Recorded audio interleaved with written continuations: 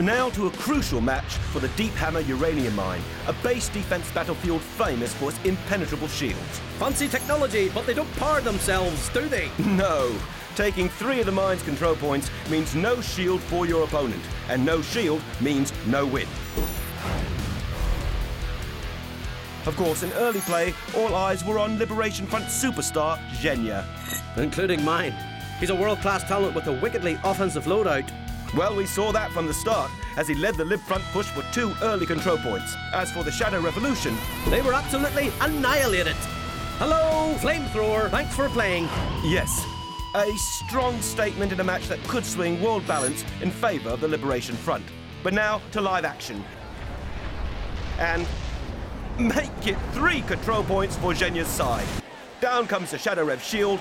Worse, their armor's making straight for the Lib Front column, oblivious of the Cyclops on the ridge. Right. Pasty has done brilliantly. Completely untouchable up there. Liquefied. Shadow Rev Ravagers are setting up to return the favour. No, no! They're good as dead! This screams infantry ambush! Here we go! Nice and messy! That's Ravagers being ravaged. Where are the other Shadow Rev commanders? I bet my service medal they're playing it feint and nuke. You may be onto it. Control points 1 and 3 have just gone contested. Multiple companies uncloaking behind Lib front lines. These are Vipers at control 1 and 3 with only Titans to beat.